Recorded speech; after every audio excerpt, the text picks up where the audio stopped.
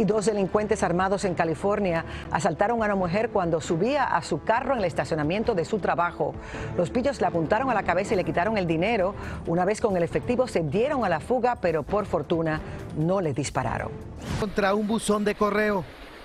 La tempestad dejó decenas de vehículos varados, a tal grado que muchos debieron ser rescatados por grúas. Alejandro